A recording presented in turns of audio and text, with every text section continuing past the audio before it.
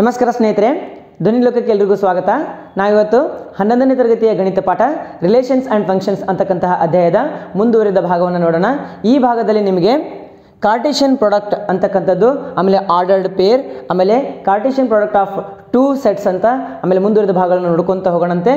ಈ ಒಂದು ವಿಡಿಯೋಕ್ಕಿಂತ ಮುಂಚೆ ನಿಮಗೆ ಈ ಎರಡು ವಿಡಿಯೋಗಳು ಸಿಗ್ತವೆ. ಅವು ಈ ಒಂದು ಅಧ್ಯಾಯದ ಬೇಸಿಕ್ ತಳಹದಿಯ ಜ್ಞಾನವನ್ನು ಕೊಡ್ತವೆ ಅಂತ ಹೇಳ್ತಾ ಆ ಎರಡು ವಿಡಿಯೋಗಳನ್ನು ನೀವು- ನೋಡ್ರಿ. ಈ ಒಂದು ವಿಡಿಯೋದಲ್ಲಿ ಆರ್ಡರ್ಡ್ ಪೇರ್ ಅಂತ ಬರ್ತದೆ. What is ordered pair ordered pair ಅಂತಂದರೆ a pair of elements return in a circular bracket pair of elements return in a circular bracket and grouped together in a particular order grouped together in a particular order such that the pair is, okay, then such that those pairs are called as ordered pairs ಅಂತ ಕರಿತೀವಿ ನಾವು. ಅವಾಗ ಏನಂತೀವಿ ನಾವು? Ordered pairs ಅಂತ ಕರಿತೀವಿ. Okay ಇದು definition ಆಗ್ತದೆ. ಏನ್ರಿ ಇದು? A pair of elements return in a circular bracket ಅಂತ. ಅಂದರೆ ಸರ್ಕ್ಯುಲಾರ್ ಬ್ರಾಕೆಟ್ ಅಂತಂದ್ರೆ ಇವೆರಡು ಬ್ರಾಕೆಟ್ಗಳು ಓಕೆ ಇವೆರಡು ಬ್ರಾಕೆಟ್ಗಳು ಈ ಬ್ರಾಕೆಟ್ಗಳಿಗೆ ನಾವು ಪ್ಯಾರಂಥೆಸಿಸ್ ಅಂತ ಕರಿತೀವಿ. ಪ್ಯಾರಂಥೆಸಿಸ್ ಅಂತ ಕರಿತೀವಿ. And group together in particular order ಇವುಗಳಿಗೊಂದು particular order ಇದೆ. ಪರ್ಟಿಕ್ಯುಲರ್ ಮೀನಿಂಗ್ ಇದೆ, ಒಂದು ಅರ್ಥ ಇದೆ ಅಂತ ನಾವು ಹೇಳ್ತೀವಿ. ಈ ಥರದ then such pairs are called as ordered pairs ಅಂತ ನಾವು ಹೇಳ್ತೀವಿ. ಈ ಥರದ ಒಂದು ಎಕ್ಸಾಂಪಲ್ಗಳು ಹೇಳಬೇಕಂತಂದರೆ ಎರಡು ಕಾಮ ಮೂರು, ಆಮೇಲೆ ನಾಲ್ಕು ಕಾಮ ಐದು. ಈ ಇವುಗಳಲ್ಲಿರ್ತಕ್ಕಂತಹ ಎಲಿಮೆಂಟ್ಗಳು ಅಥವಾ ಕಾಂಪೊನೆಂಟ್ಗಳು ಅಂತ ಕರಿತೀವಿ. ಈ ಕಾಂಪೊನೆಂಟ್ಗಳನ್ನು ನಾವು ಕಾಮ ಕಾಮದಿಂದ ಏನು ಮಾಡ್ತೀವಿ? ಬೇರ್ಪಡಿಸ್ತೀವಿ ಅಂತ ಹೇಳ್ತೀವಿ.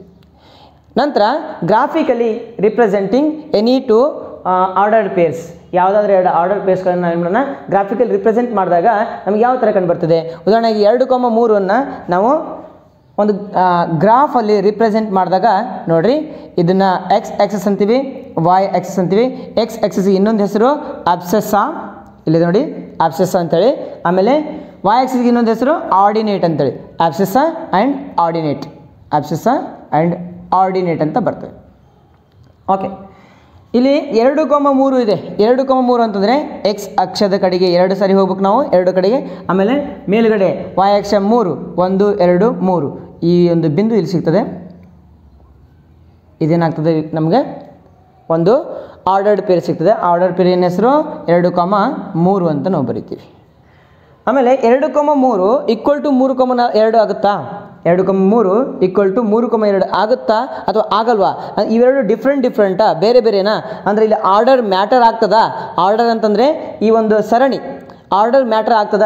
ಎರಡು ಕಮ್ಮ ಮೂರು ಬರೆದ್ರೆ ಒಂದೇ ಅಥವಾ ಮೂರು ಕಮ್ಮ ಎರಡು ಬಂದರೆ ಒಂದೇ ಆಗುತ್ತಾ? ಎರಡು ಸಮ ಆಗ್ತವಾ ಅಂತ ನೋಡೋಣಂತೆ. ಎರಡು ಕಮ ಮೂರು ನಾವು ತೊಗೊಂಡ್ವಿ. ಈಗ ಮೂರು ಕಮ ಎರಡು ಅಂತ ಏನಾಗುತ್ತೆ ನೋಡ್ರಿ? ಮೂರು ಅಂತಂದರೆ ಎಕ್ಸ್ ಎಕ್ಸದ ಕಡೆಗೆ ಮೂರು ವಾಯ್ ಎಕ್ಸದ ಕಡೆಗೆ ಎರಡು. ಅಂತಂದರೆ ಅವಾಗ ಬಿಂದು ಇಲ್ಲಿ ಬರ್ತದೆ. ಹ್ಞೂ ಇಲ್ಲಿ ನೀವು ನೋಡ್ಬೋದು ಈ ಎರಡೂ ಬಿಂದುಗಳು ಬೇರೆ ಬೇರೆ ಆಗಿದ್ದಾವೆ, ಸಂಪೂರ್ಣವಾಗಿ ಬೇರೆ ಬೇರೆ ಆಗಿದ್ದಾವೆ. ಆದ್ದರಿಂದ ಎರಡು ಕೊಮ ಮೂರು ನಾಟ್ ಈಕ್ವಲ್ ಟು ಮೂರು ಕೊಮ ಎರಡು ಅಂತ ನಾವು ಬರಿಬೋದು. ಅದೇ ಥರನಾಗಿ A comma B not equal to B comma A ಅಂತ ನಾವು ಬರಿಬೋದು. A comma B not equal to B comma A ಅಂತ ನಾವು ಬರಿಬೋದು. ಈಗ ಈ ಥರದ ಆರ್ಡರ್ಡ್ ಪೇರ್ಗಳು ಈಕ್ವಲ್ ಆಗಿರಬೇಕು ಅಂತಂದರೆ, ಅಂದರೆ ಸಮನಾಗಿರ್ಬೇಕಂತಂದರೆ two ordered pairs are equal ಯಾವಾಗ ಈಕ್ವಲ್ ಇರ್ತವೆ? ಅದಕ್ಕೆ ಏನು ಬೇಸಿಕ್ ಅಂತ ಹೇಳಿದಾಗ A equal to B is equal to C equal to D ಇದೊಂದು ಆರ್ಡರ್ಡ್ ಪೇರು ಇದೊಂದು ಆರ್ಡರ್ಡ್ ಪೇರ್ ಎರಡು ಈಕ್ವಲ್ ಇದಾವೆ ಅಂತಂದರೆ ಅರ್ಥ ಏನು? ಎ ಸಿಗೆ ಸಮ ಇರಬೇಕು ಬಿ ಡಿಗೆ ಸಮ ಇರಬೇಕು. A equal to C and B equal to D ಅಂತ ನಾವು ಬರಿತೀವಿ. ಈ ಒಂದು ಬೇಸಿಕ್ನಿಂದ ಒಂದು ಪ್ರಶ್ನೆ ಬರ್ತದೆ. ಆ ಪ್ರಶ್ನೆಯನ್ನು ನೋಡೋಣಂತೆ. ಓಕೆ ಪ್ರಶ್ನೆ ಬಂದ್ಬಿಟ್ಟು find the value of A and B if two A minus five comma four equal to five comma B plus six ಅಂತ ಬರ್ತದೆ. ಒಂದನೇ ಪ್ರಶ್ನೆ. ನೋಡೋಣ. ಇಲ್ಲಿ ಇವೆರಡು ಈಕ್ವಲ್ ಇದ್ದಾವೆ ಆರ್ಡರ್ ಪೇರ್ಗಳು ಅಂದರೆ corresponding numbers are elements are components must be equal ಅಂತಂದರೆ two A minus five equal to five abscissa equal to abscissa next ordinate equal to ordinate ಅಂತ ನಾನು ಬರಿತೀನಿ. This is equal to minus five ಕೊಡ್ತಾರಂತೆ ಎರಡು A is equal to ಐದು plus ಐದು. ಎರಡು A is equal to ಹತ್ತು. A is equal to ಹತ್ತು ಬಾಗಿಲೆ ಎರಡು. ಎ ಇಸ್ ಈಕ್ವಲ್ ಟು ಐದು ಅಂತ ಬರ್ತದೆ. ಇದು ಎನ ಬೆಲೆ ಸಿಕ್ತು. ಅದೇ ಥರನಾಗಿ ಎರಡನೇ ಪ್ರಶ್ನೆ ಒಳಗಡೆ ಇಲ್ಲಿ ಇನ್ನೊಂದು ಬಿನ ಬೆಲೆ ಕಂಡುಹಿಡಬೇಕಲ್ಲ? ನ ಬೆಲೆ ಕಂಡುಹಿಡಬೇಕು ಅಂತಂದರೆ ನಾಲ್ಕು is equal to B plus ಆರು. ಹೌದಾ? ನಾಲ್ಕು is equal to B plus ಆರು ಪ್ಲಸ್ ಆರು ಈ ಕಡೆ ಕಳ್ಸೋಣಂತೆ ನಾಲ್ಕು ಮೈನಸ್ ಆರು ಇಸ್ ಈಕ್ವಲ್ ಟು ಬಿ ಆದ್ದರಿಂದ B is equal to minus ಎರಡು ಅಂತ ಬರ್ತದೆ. ಪ್ರಶ್ನೆ ಎರಡು. ಎ ಮೈನಸ್ ಮೂರು ಇಸ್ ಈಕ್ವಲ್ ಟು ಮೂರು. ಓಕೆ ಮೈನಸ್ ಮೂರನೇ ಕಡೆ ಕಳ್ಸೋಣ. ಎ ಇಸ್ ಈಕ್ವಲ್ ಟು ಮೂರು ಪ್ಲಸ್ ಮೂರು ಆಗ್ತದೆ. ಎ ಇಸ್ ಈಕ್ವಲ್ ಟು ಆರು ಆಗ್ತದೆ. ನೆಕ್ಸ್ಟ್ ಬಿ ಪ್ಲಸ್ ಏಳು ಇಸ್ ಈಕ್ವಲ್ ಟು ಏಳು. ಪ್ಲಸ್ ಏಳು ಕಡೆ ಕಳ್ಸನ್ರಿ. ಬಿ ಇಸ್ ಈಕ್ವಲ್ ಟು ಏಳು ಮೈನಸ್ ಏಳು ಬಿ ಇಸ್ ಈಕ್ವಲ್ ಟು ಸೊನ್ನೆ ಅಂತ ಬಂತು. ಈ ಥರದ ಪ್ರಶ್ನೆಗಳನ್ನು ನಾವು ಬಿಡಿಸ್ಕೊತ ಹೋದಾಗ ನಮಗೇನು ತಿಳಿತದೆ ಅಂತಂದರೆ, ಯಾವುದೇ ಎರಡು ಆರ್ಡರ್ ಪೇರ್ಗಳು ಈಕ್ವಲ್ ಇದ್ದಾವೆ ಅಂತಂದರೆ, ಅವುಗಳ ಕರಸ್ಪಾಂಡಿಂಗ್ ಎಲಿಮೆಂಟ್ಸ್ಗಳಾಗಲಿ ಅಥವಾ ಕಾಂಪೊನೆಂಟ್ಸ್ಗಳಾಗಲಿ ಈಕ್ವಲ್ ಇರ್ತವೆ ಅಂತ the next topic is Cartesian product of two sets ಅಂದರೆ ಎರಡು ಸೆಟ್ಗಳು ಕೊಟ್ಟಾಗ ಅವುಗಳ ಪ್ರಾಡಕ್ಟನ್ನು ನಾವು ಯಾವ ಥರ ಬರಿತೀವಿ, ಅವುಗಳ ಆರ್ಡರ್ ಪೇರ್ಗಳನ್ನು ಯಾವ ಥರ ಬರಿತೀವಿ ಅಂತ ನೋಡ್ಕೊತ ಹೋದಾಗ for two non empty sets A and B the Cartesian product A cross B is the set of all ordered pairs set of all ordered pairs of elements from set A and set B A cross B is equal to parenthesis A comma B such that A belongs to A comma B belongs to B small letter B belongs to B ಅರ್ಥ ಏನಂತಂದ್ರೆ ಇಲ್ಲಿ ನಾವು ಯಾವುದೇ ಎರಡು ಸೆಟ್ಗಳನ್ನು ತೆಗೆದುಕೊಂಡಾಗ, ಆ A cross B ಅಂತ ತಗೊಂಡಾಗ ಪ್ರತಿಯೊಂದು ಎಲಿಮೆಂಟ್ ಎ ಒಳಗಿರ್ತಕ್ಕಂಥದ್ದು ಎಲಿಮೆಂಟು ಆಮೇಲೆ ಬಿ ಒಳಗಿರ್ತಕ್ಕಂಥ ಎಲಿಮೆಂಟ್ಗಳ ಏನು ಮಾಡ್ತೀವಿ ನಾವು ಆರ್ಡರ್ಡ್ ಪೇರನ್ನು ಬರೆಯೋದಕ್ಕೆ ಆರ್ಡರ್ಡ್ ಪೇರನ್ನು ಬರೆಯೋದಕ್ಕೆ ನಾವೇನಂತ ಕರಿತೀವಿ? Cartesian product of two sets ಅಂತ ಕರಿತೀವಿ. ಅಂದರೆ ಈ ಒಂದು ಎ ಸೆಟ್ ಎ ಅಲ್ಲಿಯೂ ಕೂಡ ಏನು ಕಾಂಪೊನೆಂಟ್ಸ್ ಇರ್ತಾವಲ್ಲ, ಅವೆಲ್ಲ ಸೆಟ್ ಬಿ ಅಲ್ಲಿ ಇರ್ತಕ್ಕಂಥ ಕಾಂಪೊನೆಂಟ್ಸ್ಗಳು ಅವೆಲ್ಲ ಸೇರಿ ಆರ್ಡರ್ ಪೇರ್ಗಳ ಒಂದು ಸೆಟ್ಟನ್ನು ಒಂದು ಸಮೂಹವನ್ನು ಬರೆಯೋದಕ್ಕೆ ನಾವು ಏನು ಕರಿತೀವಿ? Cartesian product of two sets ಅಂತ ಕರಿತೀವಿ. ಒಂದು ಎಕ್ಸಾಂಪಲ್ ತೊಗೊಂಡು ಗೊತ್ತಾಗ್ತದೆ. ಎಕ್ಸಾಂಪಲ್ ನೋಡಿರಿ ಇಲ್ಲಿ. Let A is equal to A comma B comma C and B is equal to X colon X such that X belongs to N such that X is a prime number less than five ಅಂತದ. Okay find A cross B and B cross A show that A cross B is not equal to B cross A ಅಂತ ನಾವು show ಮಾಡಿ ತೋರಿಸ್ಬೇಕಾಗ್ತದೆ. Let A ಏನ ಬೆಲೆ ನಮಗೆ ಗೊತ್ತದೆ. A ಅಂತಕ್ಕಂಥದ್ದು ಒಂದು set ಅದರಲ್ಲಿರ್ತಕ್ಕಂಥ ಕಾಂಪೊನೆಂಟ್ಸ್ಗಳು ಅಥವಾ ಎಲಿಮೆಂಟ್ಸ್ಗಳು ನಮಗೆ ಗೊತ್ತದೆ. ಬಿನಲ್ಲಿರ್ತಕ್ಕಂಥ ಎಲಿಮೆಂಟ್ಸ್ಗಳು ಅಥವಾ ಕಾಂಪೊನೆಂಟ್ಸ್ಗಳು ನಮಗೆ ಗೊತ್ತಿಲ್ಲ. ಅದನ್ನು ನಾವು ಫೈಂಡ್ ಔಟ್ ಮಾಡಬೇಕಾಗ್ತದೆ. Solution given A is equal to A comma B comma C B is equal to hmm X colon X belongs to N N is a natural number one two three four five six okay such that X is a prime number ಅಂದರೆ X ಅಂತಕ್ಕಂಥದ್ದು natural number ಇರಬೇಕಂತೆ. One two three four five six ಹಿಂಗೆ. Natural number ಇರಬೇಕಂತ X ಅಂತಕ್ಕಂಥದ್ದು. ಆಮೇಲೆ X prime number ಇರಬೇಕಂತ. Prime number ಅಂದರೆ one ಅದಲ್ಲ, ಅದು ಪ್ರೈಮ್ ನಂಬರ್ ಅಲ್ಲ.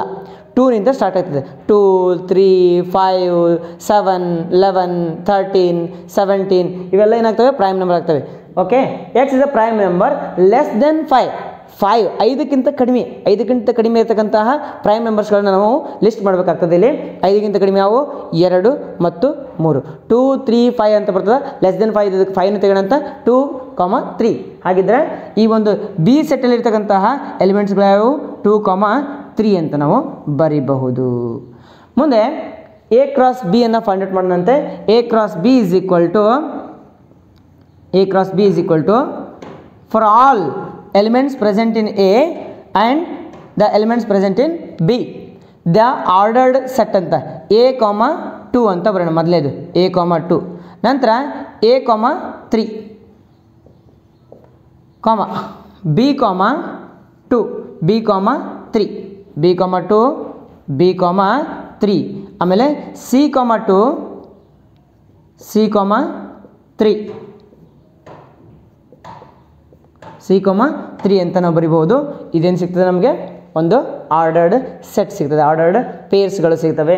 One two three four five six ordered ಪೇರ್ಸ್ಗಳು ಸಿಕ್ಕು ನಮಗಿಲ್ಲಿ.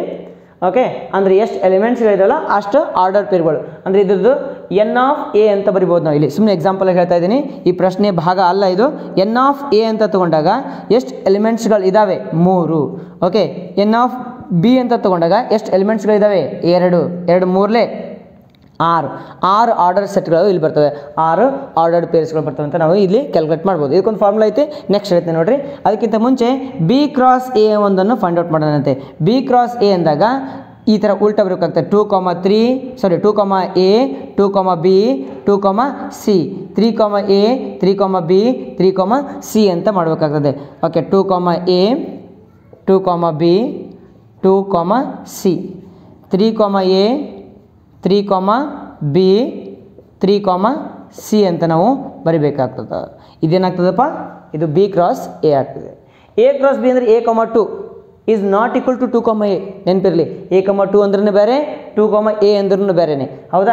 ಈಗ ಅದು ಆಗಲೇ ನೋಡಿದ್ವಿ ನಾವು. ಎರಡು ಕಾಮ ಮೂರು ಅಂದ್ರೇ ಬೇರೆ? ಮೂರು ಕಾಮ ಎರಡು ಅಂತಂದ್ರೆ ಬೇರೆ. ಹಾಗಾಗಿ ಇದು ಇದು, ಬೇರೆ ಬೇರೆ ಏನಾಗ್ತವೆ ಅಂತಂದರೆ ಆರ್ಡರ್ಡ್ ಪೇರ್ಗಳಾಗ್ತವೆ ಆದ್ದರಿಂದ ನಾವೇನು ಬರಿಬೋದು ಇಲ್ಲಿ?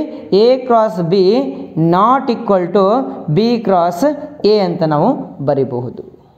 ಓಕೆ ಮುಂದೆ ಮುಂದೆ ಇದರಲ್ಲಿ ಎನ್ ಆಫ್ ಎ ಅಂತ ತೊಡಿದೀವಿ ನಾವು. N of A is equal to ಮೂರು. ಅಂದರೆ ಮೂರು ಅಂತಂದ್ರೆ ಪಿ ಅಂತ ತೊಗೊಳ್ಳೋಣ ಇಲ್ಲಿ general formula ಬರೋಣಂತೆ N of A is equal to P N of B is equal to Q ಅಂತ ತಗೊಳ್ಳೋಣ ಅಂತಂದರೆ ಎ ಅಲ್ಲಿರ್ತಕ್ಕಂತಹ ಎ ಸೆಟ್ನಲ್ಲಿರ್ತಕ್ಕಂತಹ ಎಲಿಮೆಂಟ್ಗಳ ಸಂಖ್ಯೆ ಪಿ ಬಿ ಸೆಟ್ನಲ್ಲಿರ್ತಕ್ಕಂಥ ಎಲಿಮೆಂಟ್ಗಳ ಸಂಖ್ಯೆ ಕ್ಯೂ ಆದ್ದರಿಂದ ನಾವು ಎ ಕ್ರಾಸ್ ಬಿ ಏನಾದರೂ ಮಾಡಿದ್ದೆ ಆದಲ್ಲಿ ಅದರಲ್ಲಿರ್ತಕ್ಕಂತಹ ಎಲಿಮೆಂಟ್ಸ್ಗಳ ಸಂಖ್ಯೆ ಪಿ ಇಂಟು ಕ್ಯೂ ಅಂತ ಆಗ್ತದೆ. P into Q N of A into B is equal to P into Q ಇದಕ್ಕೆ ಉದಾಹರಣೆಯಾಗಿ ಇಲ್ಲಿ ನಾವು ತೊಗೋಬೋದು ಇಲ್ಲಿ ಎನ್ ಆಫ್ ಎ ಅಂತಂದರೆ ಎನ್ ಆಫ್ ಎ ಅಂತಂದರೆ ಮೂರು. ಮೂರು ಎಲಿಮೆಂಟ್ಗಳಿದ್ದಾವೆ ಎನ್ ಆಫ್ ಬಿ ಅಂತಂದರೆ ಎರಡು ಎಲಿಮೆಂಟ್ಗಳಿದ್ದಾವೆ ಆಮೇಲೆ ಎರಡು ಮೂರಲೆ ಆರು ಮಾಡಿದಾಗ ಆರು ಎ ಕ್ರಾಸ್ ಬಿಯಲ್ಲಿ ಎಲಿಮೆಂಟ್ಗಳು ಇದಾವೋ ಏನು ಇಲ್ಲೋ ಅಂತ ನಾವು ಚೆಕ್ ಮಾಡೋಣ. ಒಂದು, ಎರಡು ಮೂರು, ನಾಲ್ಕು, ಐದು, ಆರು. ಎ ಕ್ರಾಸ್ ಬಿಯಲ್ಲಿ ಅಥವಾ ಬಿ ಕ್ರಾಸ್ ಎಲ್ಲಿ ಸಿ, ಏನು ಸಿಗ್ತವೆ? ಆರು ಎಲಿಮೆಂಟ್ಸ್ಗಳು ಸಿಗ್ತವೆ. ಇದೊಂದು ಪ್ರಾಪರ್ಟಿ ಆಯಿತು. ಒಂದು ಪ್ರಾಪರ್ಟಿ ಎರಡನೇ ಪ್ರಾಪರ್ಟಿ ಏನಂತಂದರೆ ಎ ಕ್ರಾಸ್ ಬಿ ಅಂತ ತೆಗೆದುಕೊಂಡಾಗ ಇದರಲ್ಲಿ ಎ ಆದರೂ ಇನ್ಫೈನೈಟ್ ಸೆಟ್ ಇತ್ತು ಅಥವಾ ಬಿ ಆದರೂ ಇನ್ಫೈನೈಟ್ ಸೆಟ್ ಇತ್ತು ಅಂತಂದರೆ ಎ ಆದರೂ ಇನ್ಫೈನೈಟ್ ಸೆಟ್ ಇರ್ಬೋದು ಇಲ್ಲ ಬಿ ಆದರೂ ಇನ್ಫೈನೈಟ್ ಸೆಟ್ ಇರ್ಬೋದು. ಆ ಥರ ಇದ್ದಾಗ ನಮಗೆ ಎ ಕ್ರಾಸ್ ಬಿ ಏನಿರ್ತದೆ? ಇದು ಕೂಡ ಏನಾಗ್ತದೆ ಅಂದರೆ ಇನ್ಫೈನೈಟ್ ಸೆಟ್ ಆಗ್ತದೆ. ಇನ್ಫೈನೈಟ್ ಸೆಟ್ ಆಗ್ತದೆ. ಏನು? ಉದಾಹರಣೆ ನೋಡೋಣ. ಉದಾಹರಣೆಯಾಗಿ ನಾವು A is equal to one comma two ಅಂತ ಅಷ್ಟೇ ತೊಗೊಂಡ್ವಿ. B is equal to one comma two comma three and so on ಅಂತ ತೊಗೊಂಡ್ವಿ. ಹಾಗೆ. ಎಂಡ್ಲೆಸ್ ತೊಗೊಂಡ್ವಿ. ಅದೇನಾಗ್ತದ? ಅದು ಇನ್ಫೈನೈಟ್ ಸೀರೀಸ್ ಆಗ್ತದೆ ಅಥವಾ ಇನ್ಫೈನೈಟ್ ಸೆಟ್ ಆಗ್ತದೆ. ಮಲ್ಟಿಪ್ಲಿಕೇಶನ್ ಮಾಡಿದಾಗ A cross B is equal to ನಾವೇನು ಮಾಡ್ಬೋದು? ಒಂದು ಇಂಟು ಒಂದು ಒನ್ ಕಾಮ ಒನ್ ಆಮೇಲೆ ಒನ್ ಕಾಮ ಟು ಆಮೇಲೆ ಒನ್ ಕಾಮ ತ್ರೀ ಹಿಂಗೆ ಹಿಂಗೆ ಹಿಂಗೆ ಕಂಟಿನ್ಯೂಸ್ ಆಗಿ ಬರ್ಕೊಂತ ಹೋಗ್ಬೋದು. ಅಂತಂದ್ರೆ ಇಲ್ಲಿ ಎಂಡ್ಲೆಸ್ ಆಗಿ ಸಿಗ್ತದೆ. ಅರ್ಥ ಏನಂತಂದರೆ either A or B set is infinite, then a cross b, the whole set will be infinite ಅಂತ ನಾವು ಹೇಳ್ತೀವಿ. Whole arrangement whole order pair will be in infinite series ಅಂತ ನಾವು ಹೇಳ್ತೀವಿ. ನೆಕ್ಸ್ಟ್ ಎ ಕ್ರಾಸ್ ಬಿ ಮಾಡಿದಾಗ if the A set or B set is a null then A cross B the whole thing will be null only null ಆಗಿ ಬರ್ತದೆ null set ಆಗಿ ಬರ್ತದೆ. ಅಂದರೆ A cross ಬಿಯಲ್ಲಿ ಎ ನಲ್ ಸೆಟ್ ಇದೆ, ಅಥವಾ B ನಲ್ ಸೆಟ್ ಇದೆ, ಅಥವಾ ಹೌದಾ? ಬಿ ನಲ್ ಸೆಟ್ ಎ ನಲ್ ಸೆಟ್ ತಗೋರಿ, ಇಲ್ಲ? ಬಿ ನಲ್ ಸೆಟ್ ಅಂತ ತೊಗೊಳ್ರಿ. ಅವಾಗ ಮಲ್ಟಿಪ್ಲಿಕೇಶನ್ ಎರಡು ನಲ್ ಸೆಟ್ ತೊಗೊಂಡ್ರು ಕೂಡ ನಮಗೆ ಸಿಗ್ತದೆ? ನಲ್ ಸೆಟ್ಟೇ ಸಿಗ್ತದೆ. ಎರಡರೊಳಗೆ ಒಂದು ತೊಗೊಂಡ್ರು ಕೂಡ ನಮ್ಗೆ ನಲ್ ಸೆಟ್ ಸಿಗ್ತದೆ. A cross B is equal to null set ಅಂತ ನಾವು ಬರೀಬೋದು ಮುಂದಿನ ವಿಡಿಯೋದಲ್ಲಿ ನಾವು ಕಂಟಿನ್ಯೂ ಮಾಡ್ಕೊತ ಹೋಗೋಣಂತೆ. ಈ ವಿಡಿಯೋ ನಿಮಗೆ ಚೆನ್ನಾಗಿ ಅನಿಸಿತ್ತಂದರೆ ಲೈಕ್ ಮಾಡಿ ಕಮೆಂಟ್ ಮಾಡಿ ಶೇರ್ ಮಾಡಿ ಸಬ್ಸ್ಕ್ರೈಬ್ ಮಾಡೋದು ಮರಿಬೇಡ್ರಿ. ಧನ್ಯವಾದಗಳು.